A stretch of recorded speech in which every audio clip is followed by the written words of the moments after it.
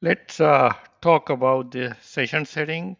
If you go to um, Salesforce setup and you can type uh, session settings here and then you go to session setting under security uh, menu under sub menu platform encryption. If you click the session settings, you can configure session settings, set the session security and session expiration timeout for your organization.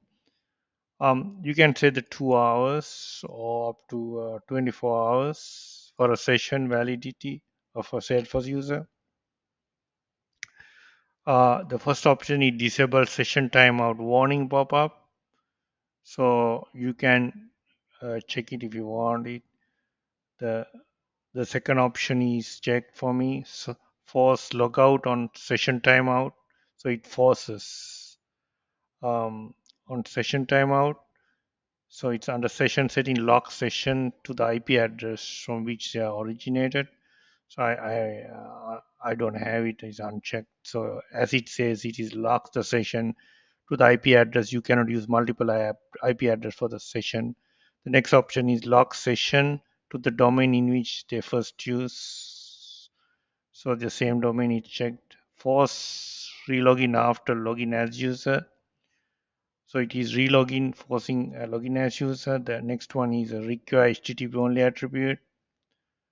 Um, is unchecked. The next one is use post request for cross domain session. Is it's unchecked for me. You can check it if you want. Enforce login IP ranges on every request. It's not. It's unchecked.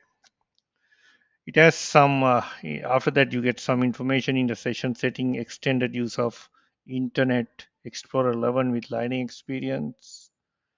Uh, it says uh, IE 11 with Lightning experience has ended. I'm using Chrome. You better use Chrome. Chrome is the, the best optimized for Salesforce among the other browsers. So in the, under session settings, you can uh, configure caching. The next first option, enable caching and autocomplete on login. Checked for me. Enable secure and persistent browser caching to improve performance. Is checked. Third one is enable user switching.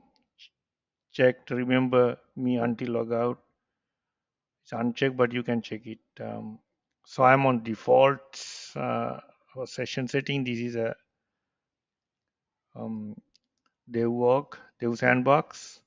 Enable content delivery network CDN for Lightning component. Content delivery network is is cache area or network uh, caching in regionally. So it's about um, you get the identity verification. So it, you have to go to identity verification for that. So let's move on.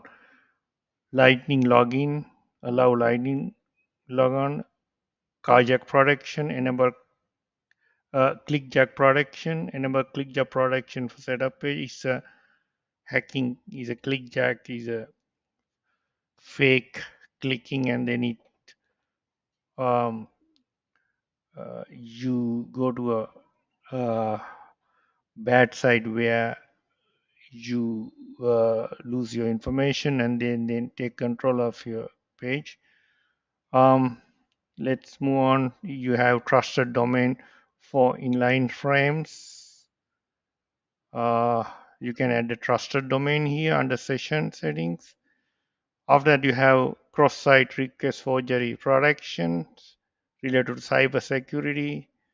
Enable get and post here. It is checked in uh, by default.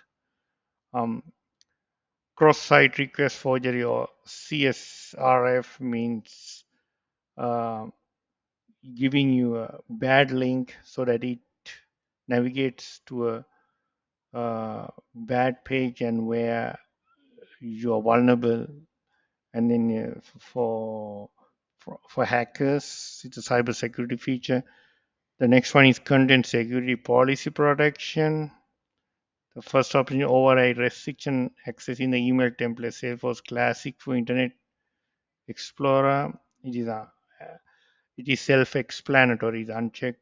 The other one is checked. The one underneath that enables stricter content delivery policy.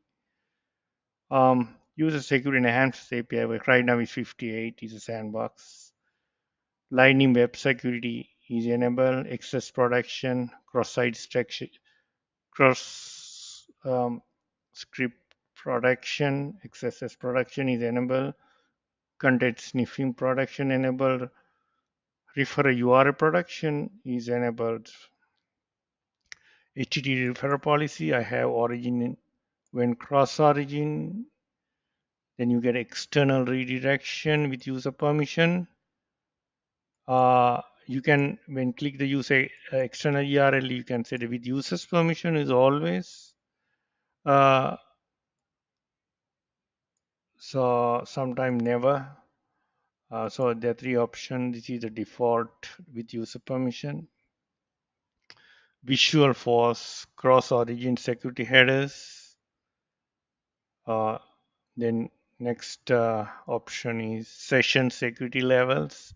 I have multi-factor authorization. You can um, at different security level here. Logout page URL setting right now is blank. Uh, new user email link expire in seven days. Yeah. New user email. So yeah, yeah. So those are the um, session settings um, for Salesforce. So you can use, you can configure wisely for your organizations. The session settings are valid across your organization. Good luck.